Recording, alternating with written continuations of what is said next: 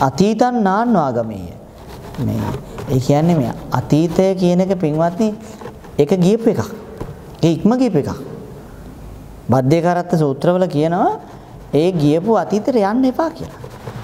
මොකද මිනිස්සු සංසාරේ මවුල් කරගන්නේ ගියපු අතීතෙත් එක්ක. බලන්නකො කී දෙනෙක් ඉන්නවද කියලා අපරාධෙ මං එහෙම කළේ අපරාධෙ මං ඒ කෑම කෑවේ අපරාධෙ මං මේ තීන්දුව ගත්තේ නැත්තේ ඔව් ඔය වගේ අතීතයේ ගත්ත සමහර තීන්දුව ගැන මතක් කර කර දුක් වෙනවා වැරදුණු තැන. අපි හිතමු අතීතයේ ගත්ත හොඳ තීන්දුව මතක් කර කර.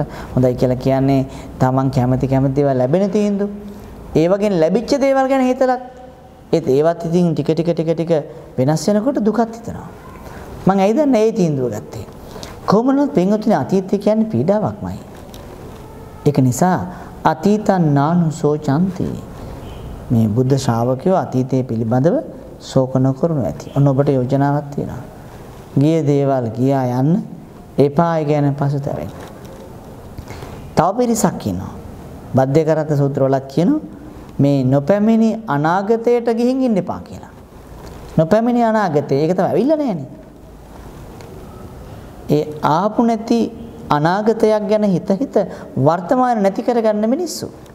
සංසාරෙත් දික් කරගෙන මෙහෙත් අවුල් කරගෙන ඊළඟ භවයත් අවුල් කරගෙන.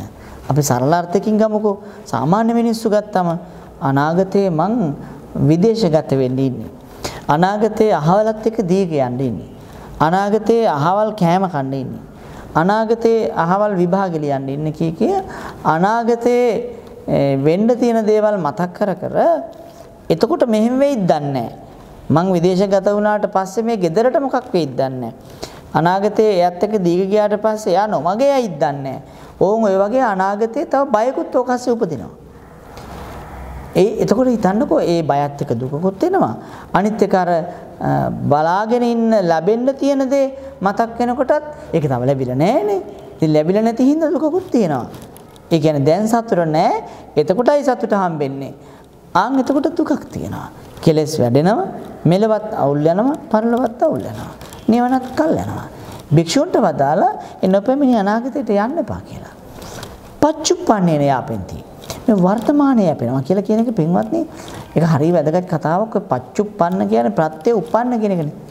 මේ හැම මොහොතකම වර්තමාන කියන්නේත් ඇති වෙන නැති වෙන එකක් නේ.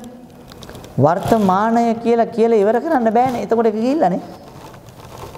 වර්තමානය කියන අකුරු පහ කියලා ඉවර වෙද්දී වයන්න අතීතයට ගිහිල්ලානේ. හරි වේගෙන් අතීතයට යනවනම්. එතන වර්තමානේ කෝ? එතකොට පින්වත්නි එහෙනම් ජීවිතේට මොන්න තරම් දුකක් ආවත් ලොකුවට දුක් වෙන්න එපා. ඕක අතීතයට යනවා. මොකද අතීතයේ ඔබ කැමැතිම කෙනා මැරිලත් දැන් ඔය හිතා දානින්නේ. ඒකින්ද දැන් ලොකුම දුක ආවත් ලොකුවට ගණන් ගන්න එපා. ඕක අතීතයට යනවා. හැබැයි ඒ බඳු දුක් අනාගතෙත් එන්න පුළුවන්. ඒක නිසානේ අපි ඊට කලින් සංසාරයෙන් ගැලවෙන්න කියලා යෝජනා කරන්නේ. එතකොට අනාගතය ගැන ලොකුවට බලාපොරොත්තු තියාගෙන සතුටු වෙන්නවත් දුක් වෙන්නවත් එපා. මොකද දන්නවද? ඔය අනාගතෙත් අර අතීතෙටම යනවනේ. එහෙම හිතපුවාම හිත කොච්චර සුන්දර වෙයිද? පණිවිඩයක් හැමෝටම හිතන්න.